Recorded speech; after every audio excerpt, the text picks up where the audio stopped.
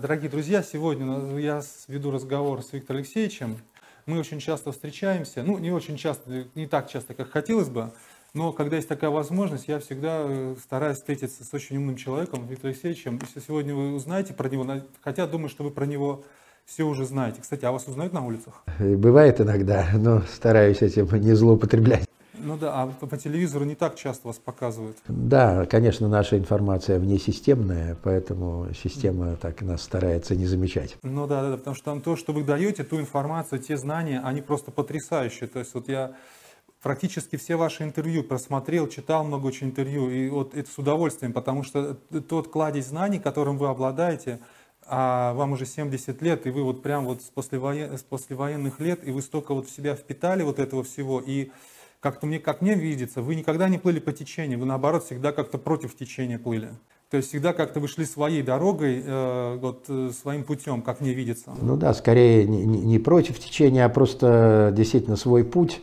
Ну и я э, напомню вам, вот Гёте, э, действительно эта миссия очень непростая. Гёте в Фаусте как-то говорит, где те немногие, что век свой познавали, ни чувств своих, ни мыслей не скрывали, отчаянно толпе навстречу шли, их распинали, били, жгли. Поэтому я своим единомышленникам часто говорю, у нас такая с вами миссия, но нас же не жгут и не распинают, поэтому вполне нормально. Не, ну сейчас много говорят, что вот репрессии, вот э, там все плохо, там нету свободы слова, а ведь действительно вы подчас говорите такие вещи, которые ну, многим бы совершенно не понравились, и вы живы, здоровы, вы работаете и так далее. Это, я считаю, завоевание, в общем-то, сегодняшнего дня, потому что те самые времена партийные, советские, там много было позитивного, интересного, но был жесткий коридор. Уж там, если ты за коридор вышел, то это уже все. Сейчас действительно можно сказать то, что ты думаешь. Это дорогого стоит. Сейчас действительно сейчас идет такая вот волна вот против правительства и так далее. А я на своем примере могу сказать, что я вот вижу, что все меняется только к лучшему. Да, не сразу, да, постепенно, но меняется все к лучшему. Есть рычаги, воздействие на любого, там, скажем, чиновника, который не выполняет свои должностные обязанности или ну, там что-то вот делает не так, как он должен делать, то рычаги воздействия очень элементарные, простые, и чиновник встает, как сказать, в колею и идет так, как он должен идти. Иногда просто наша, может быть, ментальность, то есть люди такие, они привыкли, что ну зачем я что-то буду делать, вот все плохо, да, зачем я буду что-то делать, ничего не изменится. А если человек начинает работать в этом направлении, то все меняется. Я что на своем примере знаю, потому что вот у меня, я сам из деревни, э, село Рождественно а, в Ленинградской области, и там было все очень плохо в селе. И когда так получилось, что я, значит, там детство не провел, школу закончил, поехал, значит, в город э, учиться работать, и там редко бывал в Рождественной. Когда я Приехал, я увидел там помойку, грязь и так далее, и так далее. И я все это сам, сам, вот сам взял и сделал. Просто писал куда надо, на кого надо, и все стало идеально. Вот сейчас там просто рай земной. Вы упомянули Гёте, я бы хотел начать с Пушкина. У меня есть такой потрясающий фолиант, а я его учу наизусть. Это позапрошлого века издание, просто потрясающее. Uh-huh. Вот. А Онегина учу наизусть, к сожалению, времени все меньше и меньше, поэтому так до конца мне его не выучить. Но я даже премию учредил в своем в Рождественном. Если кто-то выучит Онегина наизусть, 40 тысяч рублей премия. А, ну, учат, учат, там одна девочка учит точно, не знаю, выучит или нет в итоге. Ну, важно, мне кажется, что это Онегин, ну, Пушкин весь, он гениален, но Онегин вот для меня, во всяком случае, просто аптечка на все случаи жизни. Что со мной происходит? Я вспоминаю Пушкина, поэтому я его стараюсь наизусть. Он на все вопросы уже дал ответы.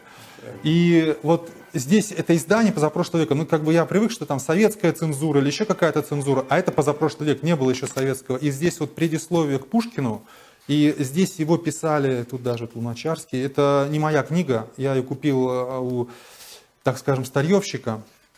Но она вот, вот в идеальном состоянии, хотя она очень старенькая. Тут кто-то вот писал, тут все подчеркивал, тут она с ятями, неудобно первое время читать, потом привыкаешь. И э, здесь вот, например, мне понравилось э, описание. Здесь, кстати, вот портрет никогда не видел отец Пушкина. Здесь вот портрет мама Пушкина. А, здесь вот описано именно вот э, описали люди, которые еще были знакомы с Александром Сергеевичем, то есть и говорили то, что вот оно есть.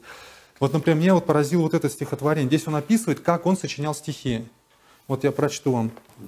«Все волновало нежный ум, цветущий мир, луны блистанье, в часовне ветхой бури, ветхой бури шум, старушки чудное предание.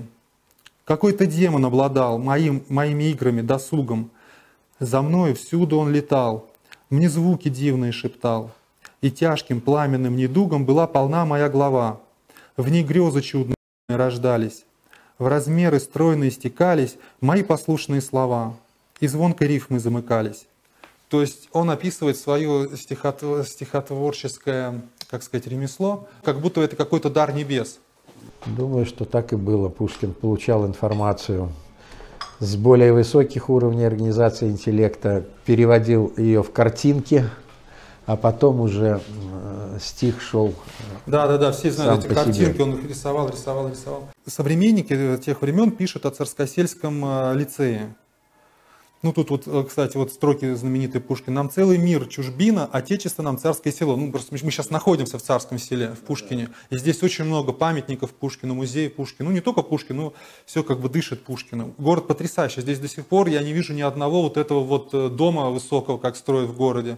Здесь как-то следят за архитектурой. Здесь... Базовый принцип жизни вообще цивилизации – это жить не выше дерева. Здесь, если подняться вот э, башня, э, там смотровая площадка, то можно увидеть, как э, должно жить вообще человеку. Здесь нет ни одного дома выше дерева. Деревья, а и под кронами деревьев. Нет, я вот сейчас въехал вот сюда, вот прям вот действительно глаз радуется. Не давят, не давят вот этот вот бетон, вот эти вот стекла, не давят. Здесь как-то вот действительно просторно. Так вот, вернемся, значит, вы были ректором аграрного университета. И в этой связи, вот про лицей, как пишет лицей того времени – Выпускные экзамены в лицее оказались на высоте лицейского преподавания, комедией. Столь обычной в доброе старое время вопросы и ответы были подготовлены раньше, и каждый воспитанник выполнял заранее назначенную ему роль.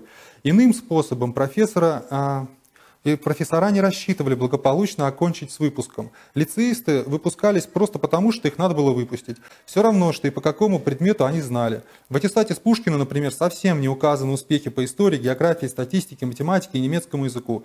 В день выпуска государь явился в лицей, государь явился в лицей и приветствовал лицеистов речью, наградил всех жалованием. Пушкин, кончивший по второму разряду, получил 700 рублей и был определен в коллегию иностранных дел. Ну вот скажите, сейчас образование вот похоже на лицейское? Ну, конечно же, лицейское образование, оно уникально, не случайно такие э, выпускники. Вот. Ну, мы нашим отличникам вручали дипломы в лицее для того, чтобы вот как-то приобщиться э, к этой э, вот такой цитадели нашего образования. Но мне кажется, что сейчас настала пора, когда уже многие задумываются о необходимости, может быть, возрождения вот таких глубинных традиций в образовании. И э, настала пора, в общем-то, говорить о, если угодно, такой всеобщей управленческой грамотности. Без этого сейчас очень сложно. И здесь опыт лицея действительно незаменим. Его стоило бы Но здесь парадокс лицея заключается в том, что здесь ну, некоторых преподавателей ругают, а некоторых, вот в частности Эдель, Эдель, Эдельдорф, по-моему, э, его очень хвалят. Это наставник был, главный человек был в лицее. Но здесь вот, что меня поразило в этом лицее, это вот строчки опять Пушкина. «Прости, где бы ни был я, в огне ли смутной битвы, при мирных ли брегах родимого ручья, святому братству уверен я, то есть, а, помимо образования, там было именно братство. И, как сказать, они все братьями себя считали, все вот эти лицеисты. То есть, как-то вот что-то было, какие-то скрепы, которые людей вот по жизни дальше вот э, помогали им идти вместе. Мне кажется, сейчас таких скрепов нет, во всяком случае, я с ними не встречался, чтобы вот люди вот так вот помогали друг другу по жизни, дальше шли. Друзья мои, прекрасен наш союз, да, да, да вот, собственно, девиз. Вот, Николай Первый. Николай Первый пишет э, в своем дневнике, так, э, знаешь, знаешь, что я нынче долго говорил э, с умнейшим человеком в России. Это он говорит про Пушкина. Да. То есть Николай I лично встречался с Пушкиным, а Пушкину на тот период времени было там до 25 лет. Ну, они были практически одногодки, э, год разницы у них в возрасте, и действительно первым жестом Николая I было это он пригласил Пушкина из ссылки в Михайловском, и первая встреча состоялась трехчасовая, на которой, в моем понимании, Пушкин открыл ему многие сокровенные знания, в том числе по богословским вопросам, которые потом, может быть, и спасли Пушкина, когда вот по Гаврилиаде э, возникли ситуации, близкие к таким трагическим, возможным для Пушкина. Ну, вот Николай там вступился за него, если mm-hmm. так. И дальше-то идет другая вещь, что здесь вот описывается о том, что Николай I ему сказал, что я буду теперь э, цензором всех ваших стихов. И жандарм тех времен, э, фамилию вот э, сейчас могу найти, не помню, какая-то тоже немецкая фамилия, Бекендорф, по-моему, Бекендорф, да, следили внимательно за их творчеством, и когда он рассказал Годунова, то царь прочитал, и, соответственно, там у него начались репрессии по отношению к Пушкину. То есть, с одной стороны, он был к ним близок, а с другой стороны, он говорил, что, дружок, давай-ка не так открыто, потому что иначе это самое, все увидят, и что так можно, и пойдет волна нехорошая, тем более в это время там пылали революции французские и так далее. Почему достал этот томик? Я просто знаю, что вы хороший пушкинист, я хочу подарить вам вот эти книжки. Да, да, Они да. просто потрясающие, да. Потому что мне со временем, сейчас после того, как особенно я стал многодетным отцом, у меня вообще времени стало мало. И я думаю, что они меня будут пыляться, а вы получите громадное удовольствие. Мы сейчас ехали к вам. Спасибо огромное. Да. Не знаю, давайте положим куда-нибудь на подоконник, давайте я положу. Спасибо, да, такое Конечно, неожиданное вступление к нашему нашей беседе. А я бы хотел с вами побеседовать просто о жизни, о вашей жизни, потому что ну, вот 70 лет вы столько прошли, послевоенные годы, коммунизм, капитализм, и столько всего менялось, вот просто все кверх ногами просто становилось, и люди сначала были в шоке, а потом к этому всему привыкали. И как вот вы это, и вы вот как умнейший человек, вы всегда были вот на самых передовых позициях, занимали очень высокие посты. С самого детства, вот как начиналось ваше детство? Ведь вы же с, с деревни, правильно? Да, я родился в такой очень э, глухой деревушке на Псковщине, недалеко от Пушгор, кстати, и Пушкин те края посещал частенько. Сейчас она практически уже вообще такая вымирающая, но когда я там родился, это был 48 год, послевоенный, то все-таки в первый класс э, из этой маленькой деревушки нас пошло 4 человека. То есть все-таки так, так сказать. Так а школа далеко была? Э, ну, школа была э, в трех километрах. И это тоже достаточно интересно. Я вспоминаю свои детские походы в школу. Вот иногда в южное время когда заметала дорогу, то приходилось просто тоннель пробивать под снегом. Ну, это такая неплохая зарядка каждое утро и вечер, да, три километра по прекрасной природе. А, вот. Ну и если говорить о таком самом раннем детстве, то вот есть не, некоторые такие яркие картинки, которые отражают, может быть, э, те времена, что характерно было. Вот мне больше всего запомнилось вспаханное поле, отец за плугом с лошадкой, на эту лошадку он меня часто сажал верхом, вот это такая типичная картинка. Во времена, когда я родился, вот у нас был такой сарай, где мы рожь выращивали, жали, молотили ее и дальше мололи. Я этим тоже занимался. Два каменных э, жернова. И вот так выращивали. Мне это знакомо, потому что у меня отец с Обсковщины, он с э, ну, недалеко от Пскова, там 20 километров, Ершова, э, Большая Остинка. Так вот, я с дедом тоже так же пахал, э, и тоже садил меня на лошадь, и мы сено на этой деревянной телеге запасали, возили, и была, ну, уже не мололи, значит, но уже я видел ее, она лежала, вот это старые вот эти камни, и точилка там старая какая-то, конструкция деревянная, то есть... Ну, и вот я хочу сказать, что, может быть, на примере моей жизни особенно ярко, наглядно виден вот этот закон времени, или, как мы говорим, смена логики социального поведения, когда скорость обновления технологий сравнялась со скоростью обновления поколений. Мы говорим, что это была середина как раз 20 века, то есть это пришлось как раз на мое рождение. И вот на примере моей жизни э, это, наверное, наиболее наглядно. Вот, э, может быть, сейчас мало кто поверит из наших зрителей, но когда я родился, я долгие годы не знал, что такое радио, я не знал, что такое электричество. Ну, о телевидении я вообще не говорю, это, это была какая-то фантастика, когда я увидел уже в школьные годы практически. Вот. Э, помню, как эм, нам устанавливали вот этот самый черненький динамик в, угол, в углу и говорили, что там значит, это, это в вашем доме или в школе? Э, это в доме у меня, в доме, да, вот в нашей деревушке. Э, и я помню, как мы с бабушкой обсуждали, я никак не мог понять, что вот, вот дядя будет там говорить. Я у бабушки спрашиваю, бабушка, ну а как же он туда сядет? Это же маленькая такая площадка. То есть вот такая была ситуация. Так это получается к вашему дому провели да?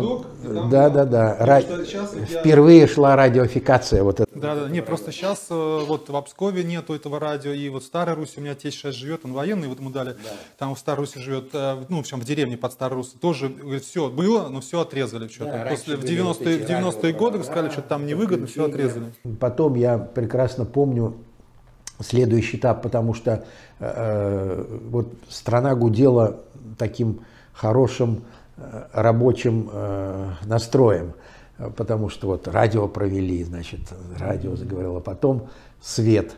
И э, люди, которые э, тащили линии электропередач, они просто жили в нашем доме, mm. и поэтому мне это особенно запомнилось. И вот впервые я увидел, что такое электричество. Значит, так, а это сколько вам лет было? Это ну, это, наверное, Э, уже, да, я только-только в первой, э, вот в начальной школе учился, потому что я еще застал времена, когда я уроки делал с керосиновой лампой, вот, причем у меня отец работал на железной дороге, и мы так, так сказать, и вот у нас была какая-то, она называлась десятилинейная такая лампа с большим фитилем, все приходили, смотрели, какое с чудо. Да, а остальные, э, маленький такой фитилек был, а вот соседка моя, Э, делала уроки еще э, с лучиной. Это действительно такая державка металлическая, э, трубочка такая. Туда вставлялась лучинка, пропитанная керосином там, или какими-то жидкостями. Зажигалась, и она вот делала уроки. Вот это я к тому, что сейчас мы, нам кажется, что вот жизнь, она только вот так вот возможно, как сегодня. Но на моем поколении и сотни лет до этого великолепные люди, в общем-то, интеллигентные, интеллектуально грамотные, э, они жили вот так вот, и они при этом не переставали быть людьми и творили вот ту самую русскую культуру, которой сегодня мы гордимся. В общем. Не, ну это вы говорите вот про себя, да, но если вспомнить того же Пушкина, он даже не мечтал, так, наверное, керосиновые лампы, не знаю, насколько были тогда или нет, он тоже при Лучине жить, он читал свои вот эти вот, это ж, помните, он а, в «Капитанской дочке» он описывает, что вот она сидела и читала а, при то есть там э, героиня одна из... И он же тоже был при он писал такие гениальности, когда все это было при то есть Сейчас, когда, вот я тоже об этом задумываюсь, вот у моего деда, у него даже лошади не было, была телега, а лошадь он брал в это в колхозе ничего вообще не было. И люди радовались радио, это счастье какое, свет, счастье это какое. А сейчас мы включили свет, ну и что там, радио уже там с 200 каналов, телевидение 300 каналов, и уже как бы не воспринимаешь. Мне вот в этом плане очень понравилась ваша история про мышей, опыт про мышей, когда мышам все, да, мышам все дали, они друг друга съели. То есть, э, то есть как бы получается, человеку нужно к чему-то стремиться. Но человек все равно недоволен. Вот сейчас недоволен. Тут, вот, все люди чем-то недовольны все время. Ну вот беда, на мой взгляд, нынешней цивилизации, что она, конечно, утрачивает связь с природными полями, если угодно, да, с природой, с растениями, с животным миром. И э, я вот даже, вот некоторые фотографии э, вот, смотрю да, вот свои. Вот, да, вот, вот видите, вот это, скажем, такие послевоенные годы. Но даже вот э, сама фотография, люди, они вот в природе фотографируются, то есть mm-hmm. не, не, не где-то в каких-то... Нет, главное лица светлые. Да, а вот удивительно, если посмотреть на лица, то они действительно, вот сейчас сложно найти компанию, которая бы была вот в таком каком-то едином настрое, а, а видно, что они... Я помню свои вот детские годы, вот то же самое у дома там у нашего соседского. Нет, это сосед мой, но я тогда еще ребенком был. А, вот, но э, то же самое, лица, лица, лица, которые вот э, отличаются э, такой простотой, добротой, открытостью. Вот в деревне, вот на Псковщине, это отца, так там полдеревни Сорокиных, полдеревни Сорокиных, все друг другу родственники. Ну, а у меня тоже, ведь вот в моей деревушке, может быть, наша родовая линия такая базовая, потому что мой прадед Ефим, Он торговал льном во Франции вообще-то в свое время. И был таким достаточно зажиточным хозяином.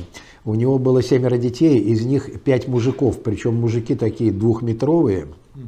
И вот мой дед э, был старшим, а вообще э, прадед мой имел фамилию Ефим Соловьев, вот, а старший сын, мой дед, уже фамилию понес по имени деда, то есть он Ефимов, то есть как сын Ефима. Да? Нет, нет, это же понятно, там, как да. ты Че Ефимов, да, так, наверное, его Да, Че Ефимов. И э, вот и этот мой дед, э, он, так у нас получилось, что вот когда я маленьким себя помню, у нас был такой вековой дуб. Это дуб, который посадил мой прадед. Угу. Потом под окошком это дуб, который посадил мой дед. Угу. Вот. Потом э, рядышком там дуб это посадил мой отец. Угу. А теперь вот на въезде в нашу деревушку аллея, которую я посадил, но это уже 22 дуба. Угу. То есть это такая наша родовая линия. И вот э, с, э, я с большим удивлением, бабушка потеряла своего мужа, вот моего деда в войну, и сына старшего, а младший сын это мой отец. А, и она, конечно, хотела как-то узнать, где похоронен вот мой дед Александр. И я не так давно, буквально лет пять назад, через интернет под Старой Руссой в Демянском котле он погиб, и я нашел его могилку. Ездил туда. Это, конечно, поразительно. Очень хочу, хочу поблагодарить вот тех, кто хранит вот эту память э, потому что ухоженная могилка э, – это братское захоронение. И что любопытно, э, вот в месте захоронения прямо растет дуб от возраста э, военных лет. И я для себя так понял, что это желудь в кармане моего деда был, так, ну, для себя, по крайней мере, такую модель выстроил. Но я вот увидел фамилию, имя, отчество моего деда, а потом так подумал, подумал, дед – этот дед, когда он погиб, ему было 43 года. А до этого он был репрессирован, до этого он был выслан в Сибирь, потом он возвращался, его не пускали в родную деревушку, он где-то жил в Тверской области, бабушка ездила к нему, там навещала.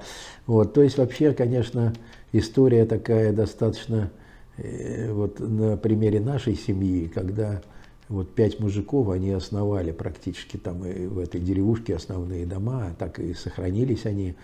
И тем не менее, вот постоянно какие-то проблемы по жизни сопровождали. Вот это беда наша, потому что у нас не бывает такого периода спокойного развития. Даже вот я вспоминаю уже свою жизнь, времена Хрущева – ну, вообще, накосить, у нас было две коровы, и накосить на корову – это всегда была моя обязанность. Вот. Причем травы найти было очень сложно. Мы косили с десятой кучи, то есть 10 куч косишь э, в совхоз, и одну тогда тебе разрешают, поскольку отец работал на железной дороге. А, вот. И иногда там по ночам где-то в кустах полянка э, косили втихаря и ночью эту траву выносили к себе домой. Вот.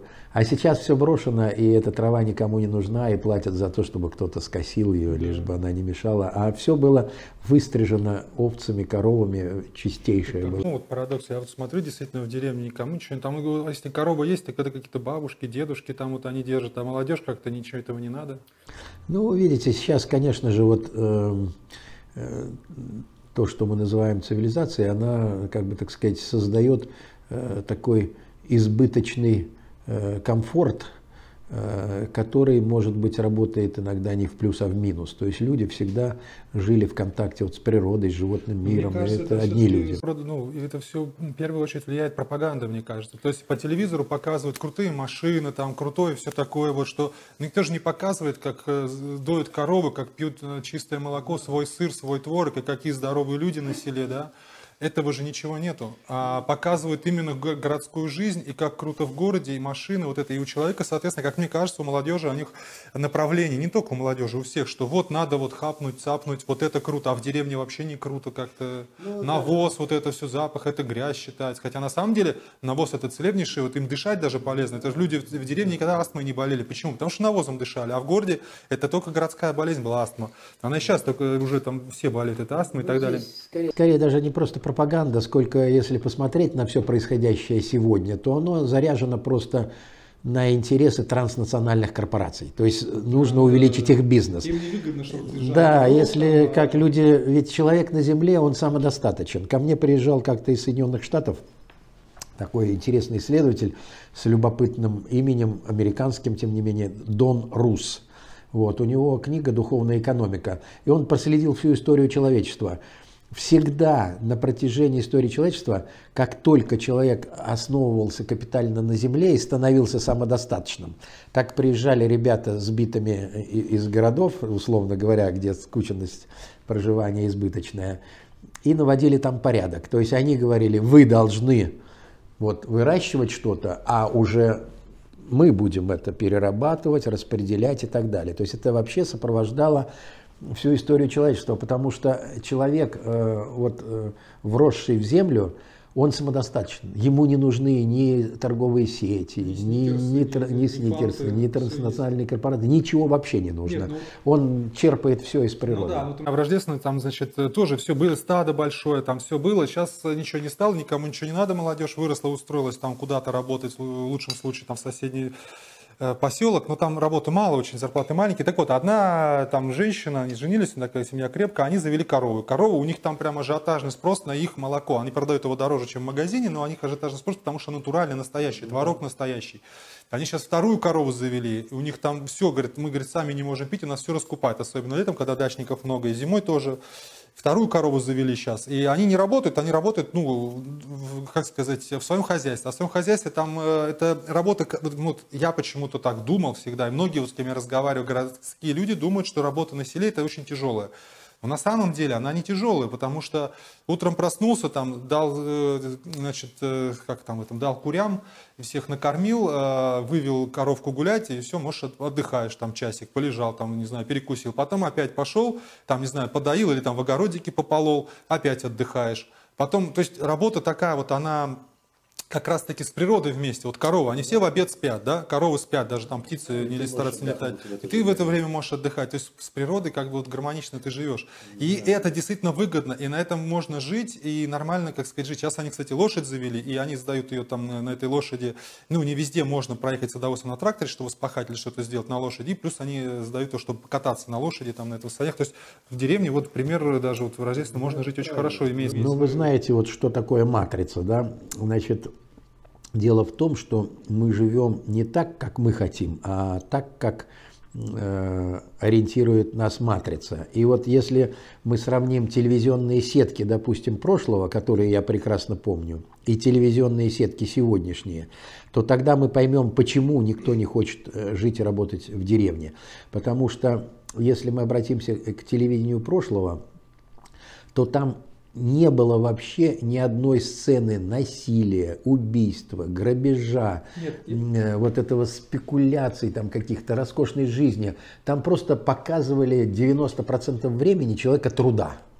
И вот говорят, что это не было свободы э, слова. Проблема телевидения вовсе не в свободе слова, а проблема в психологических последствиях того, что мы видим на экране. Кто-то говорит, что ну, телевидение оно отражает жизнь.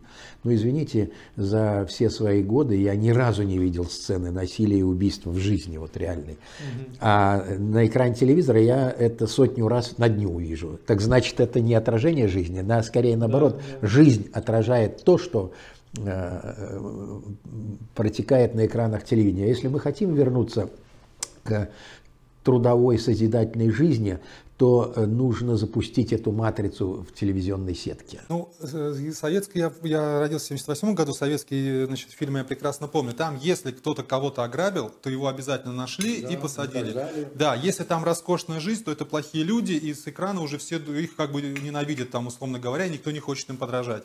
А сейчас, э, конечно, сейчас рейтинги, рейтинги, вот сидят люди такие вот и думают, вот, э, наверное, народ будет это смотреть, нам нужны рейтинги, и давайте вот это вот покажем, чем хуже, тем, тем лучше, значит, э, какая разница там взять этот Comedy Club, когда там такая пошлятина идет, такая мерзость. И по, по телевидению в советское время это же, я не знаю, там точно бы всех бы это самое разогнали бы, если бы увидели подобное. Ну, это связано с чем? Опять же, бизнес и серьезные заработки возможны только на пороках людей. Если человек не порочен, на нем не заработать. Вот как заработать на мне? Я там мясо не ем, рыбу не ем, алкоголь не пью, табак не курю. Там, ну, ну, то есть, э, и, соответственно, состояние здоровья иначе складывается у таких людей. И чем больше э, человек э, привязан э, к каким-то порокам, тем э, больше с него можно снять денег. Вот, собственно, ну, опять да, критерий один. Да. То есть цепочка пошла, она, как известно, работает. Вначале питание, там добавки специальные, потом лекарства, потом болезни, алкоголь, табак и так далее. Вот в этом проблема. Поэтому зачастую мы не всегда различаем корни вот многих событий. И, к сожалению, вот тема э, уважения к труду праведному, она сегодня вообще закрыта полностью. И именно это и является первопричиной очень многих наших бед и проблем. Вот я вспоминаю свои уже, может быть, студенческие годы, потом и годы после студенческие. Э, я ведь вот всю жизнь трудился, и э, жить можно было и тогда очень неплохо. Вот я, э, к примеру, после, э, да, и уже в конце студенческих лет, ежегодно, а потом, когда работал, ежегодно отпуск проводил э, в болотах Псковской области, куда проезжал на лодке, там километров 40, там ни души вокруг, и, наверное, там у нас э, вот такая совершенно уникальная природа – и я за время отпуска зарабатывал больше, чем за год работы на очень высокоплачиваемых должностях, хотя mm-hmm. находился. Но за отпуск я зарабатывал больше. Но потом я работал всегда в строительных отрядах э, Давайте студенческих посмотрим. тоже. Ну вот да, я, скажем, там какие-то э, у меня вот, скажем, стройка. Вот я сейчас даже, когда проезжаю там мимо, этот под Псковом, Дуловка, нас было 10 человек, в основном это аспиранты, я тоже тогда был аспирантом. Мы построили 5 двухквартирных домов. За 40 дней с нуля выкопали. Причем, значит, я смотрю, это дерево настоящее. Это да, из дерева. И вот, э, ну, вот мне сейчас даже не верится. Но мы действительно работали примерно с 6 утра до 10 вечера. Угу. Но э, заработал я, в общем-то, конечно, больше, чем за год э, зарабатывал, так, так сказать. Вот. Ну, Но говорят, зарплаты, и просто поражаешься, под крышу сдали эти дома. Mm. А, вот. Ну, также вот... Э, Здесь вот показывали копеечку, которую вот вы купили. Да, и вот если говорить о том, что э, как, значит, это потом оборачивалось, у меня первый автомобиль мой, это вот ну, у меня вот сейчас такая... 13 Да, 13 это там Ленремонт у нее, вот я сейчас да? купил, да, ну вот, машину. Это, конечно, была тогда ну, предметом... Первая машина была «Москвич». Вот. Гордости и роскоши нашей, но она была заработана, в общем-то, горбом, потому что, когда в клюку уходишь, да, то я вот там, скажем, э, места были, где недалеко, а иногда это приходилось километра четыре э, вот э, в собаках за коленниках так и два рюкзака. Один на груди и второй на спине потому что мы с женой ездили собирали вдвоем а выносил-то и я. И это во многом в общем такая мощная закалка. Когда я приходил на работу Тогда было неудобно мне сказать, что я вот там подрабатываю где-то. Все удивляются, как вы так загорели, где вы так отдыхали. Но это действительно был полноценный отдых, потому что чистая природа э, в радиусе, там, думаю, километров 40 ни души практически. И вот мы там жили в таких заброшенных деревушках. Благо мой отец, он в партизанском, он ребенком еще в войну-то был, и в партизанском отряде был в тех краях, там немцев не было, туда дорог нет. И поэтому вот мы туда проезжали по речке Полесть на моторной лодке. Это уже граница Новгородской и Псковской области. Абсолютно безжизненные пространства, где там, так сказать, и глухари, значит, над тобой сидят, и значит, и, и медведь, и лось рядышком пробежит, то есть вот такие Сейчас чудные... там стало еще глуше, сейчас еще глуше. Там ну, у меня да. просто вот у меня знакомая работа, она с, вот как раз с Лохни, это с тех времен, и из да, Цивло. Она говорит, Лохни там было что-то около, что-то там 50 тысяч населения, что сейчас стало там в лучшем случае 15, все разъехались. Ну, во-первых, там демографический был кризис, не рожались люди, и смертность повышена, ну и разъехались все. То есть сам население стало еще меньше. Это, может быть, даже меньше, чем было вот в вашем детстве, не знаю. То есть, поэтому есть такие э, заповедные места, наверное, до сих пор, которые, где нога человека вступала, может быть, там раз в 50 лет. Да, озеро Полисто, 6 на 12 километров, такое. И вот из него это речка Польс, поэтому мы из Цевло по Цевло добирались до озера Полисто, пересекали его полностью и по речке Полесть еще километров 30. И там уже абсолютная тишина. Это, кстати, Заячий отрог – самое большое месторождение торфа в Европе. Угу. Это место такое серьезное, знаковое. Вот поэтому, конечно же, вот э, матрица созидания как-то должна в нашем обществе возрождаться.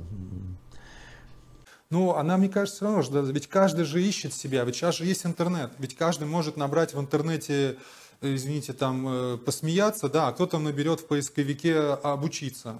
То есть, э, и вот у вас, я смотрю, очень много подписчиков, много просмотров в интернете, то есть люди, которые все время вот жаждут вот этой новой информации, чтобы становиться лучше. Но вот у меня брат, значит, так сложилось в его жизни, что он очень долго не работал, не мог найти себе работу. Он э, живет там недалеко от Рождества, в Колпанах. Так вот, э, сейчас он со мной работает. Э, так вот, он э, ничего не делал, он лежал на диване, смотрел телевизор он бросил курить, например. Он не стал там спиваться от того, что у него все-таки жена, и ребенок, и а работу, ну, не мог найти никак. Находил какую-то там за какие-то копейки э, и так далее. А ну, он, смотря телевизор, он бросил курить. То есть я сделаю какой вот, наверное, он в телевизоре смотрел телеканал «Культура», наверное, он не смотрел какие-то там вот эти пошлости, наверное, он выбирал какие-то программы. Почему он вдруг решил бросить э, курить? Он перестал пить, ну, пьет, ну, как сказать, так умеренно, так скажем, выпивает там по праздникам и так далее. А, то есть не спился, не скурился, а наоборот даже лучше стал, смотря даже телевизор, ну там интернет плюс еще. То есть а, каждый ищет себе вот эту вот, топчет свою тропинку по, по большому счету. И нельзя говорить о том, что вот сейчас вот мир впал в пучину какую-то, а просто сейчас стал каждый индиви, более индивидуален. Нету такого общего строя на там 9 мая, а на Октябрьскую революцию праздник, а каждый идет своей тропинкой. Да, мне кажется, вот э, вы правы, что сегодня э, есть возможность реального выбора. Ну и мне кажется, что идет такая серьезная поляризация. То есть вот сейчас идет, если угодно, такая э, своего рода гигиена э, ноосферная, когда люди или действительно уже в отбросы, или они начинают осознавать себя человеком разумным и идут по жизни Э, совершенно иным путем, которым невозможно было идти вот не так давно, потому что там ты должен был идти только в том коридоре, который обозначен.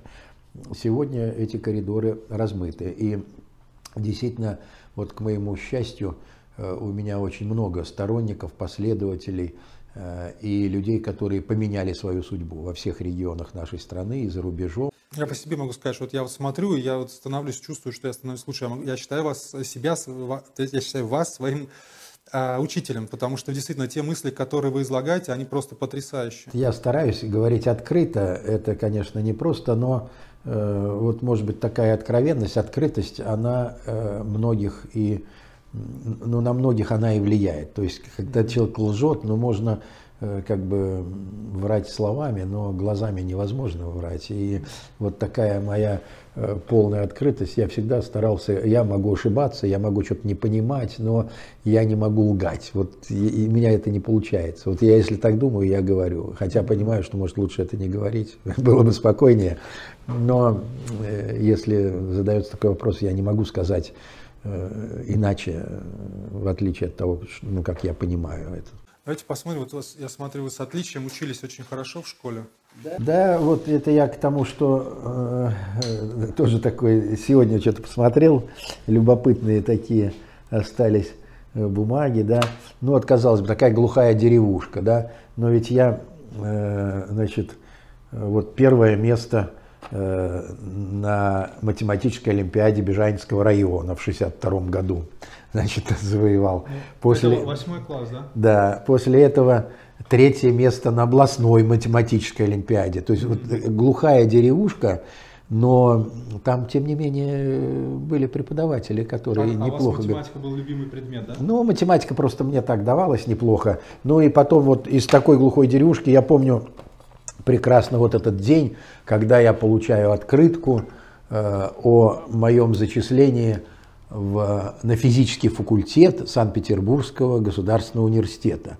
Ну, по тем временам это едва ли не топ был вот, э, ну, того, куда можно было поступить. Ну, сейчас, может быть, вот ценностные ориентиры такие размазанные, но тогда однозначно вот э, это, наверное, высший предел, к которому как-то стремились. Ну, у кого не получалось там с математикой, физикой, они чувствовали, что немножко они так, как бы, так сказать, чем-то уступают, но они там уже распределялись по другим э, направлениям. Но это, это если, если говорить о моде. Я не хочу сказать, э, что там важнее. Э, разные направления науки в равной мере важны. Но вот тогда мода была именно на вот, физику. И, в общем-то, Э, вот э, кадровая база управленцев, она формировалась вот так вот. У меня очень много знакомых, которые вот из действительно глухих, глухих деревушек, но они стали э, людьми такими заметными. Ну и после окончания значит, вуза я был два года военным, вот так называемые двухгодичники, служил лейтенантом, да, лейтенантом на Крайнем Севере, значит, э, в Мурманске начинал, потом э, мне поручили, меня жена как раз в это время родила, ну и вот меня отпустили э, со службы навестить свою дочку, только с условием, что я приму другой взвод. У меня был взвод радиолокационной разведки, там три человека и все, это что называется, а здесь метил взвод, в общем-то, крупное такое подразделение.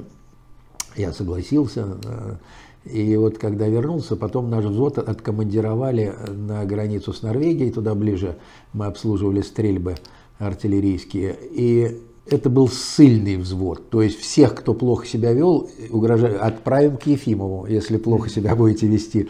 Так вот, взвод у меня был 15 человек – и это был взвод из 15 национальностей. Да. То есть я после этого стал реальным интер, интернационалистом, потому что я понял, что, в общем-то, все люди хорошо... Ну, ну, там это, как обычно, все боятся кавказцев, там вот они такие вот горячие. Была дедовщина? Нет, у меня там, э, вот что касается взвода, то как раз у меня вот были все, литовец, латыш, э, значит, еврей, азербайджанец. Э, вот э, и азербайджанец, к примеру, был самым таким, как-то, ну, много возникало проблем там и семейных. Вот он, он ну, такой был в очень в доверительных отношениях, его можно было о чем-то попросить, он мог что в чем-то подстраховать. Я даже в отпуск летал тогда в Баку. Тогда ведь количество дней затрачиваемых на дорогу поездом засчитывалось а, в, в, в длительности отпуска, да, то есть ты получаешь отпуск и плюс столько, сколько нужно тебе на дорогу. Вот я выбрал Это, с, самый северный точка, самый южный. Да, да, да, вот так я приезжал к его родителям, вот, э, ну, и, ну, такие нормальные человеческие отношения были, не просто чисто формальные. Ну и, конечно же, э, вот грек у меня там был даже, люди очень разные, очень непростые. Ну, как-то так более-менее удавалось э, по-нормальному там организовать жизнь. Не, ну это же тяжело. Вот 15 мужиков на крайнем севере. Это, я так полагаю, в одной какой-то вот в одном помещении каждый день. Но это же Блин, ну... Да, там мы были прикомандированы к ракетному дивизиону, то есть это они жили, естественно, в казарме, у меня был отдельный домик, э, но я был э, с дочкой грудной и с женой. Они с вами там были? Да, они тоже были со мной. Ну и ну, много. Не знаю, а где молоко-то там брать на крайнем севере? Э, ну нет, тем не менее, там вот если говорить о крайнем севере, то я вам скажу так, что забота о людях там была в Уттенате. То есть нам выдавали паек, все, начиная от соли, лука, перца до там, мяса там, и чего угодно. Вот. И этого было абсолютно достаточно для питания. Кроме того, у меня была зарплата, э, по-моему, 2000, э, или нет, тогда 210 рублей, да, а кооперативная квартира стоила 2 500. То есть я за время службы, за два года, угу. я полностью накопил денег и купил квартиру угу. в Купчино тогда, угу. вот, кооперативную, а, благодаря вот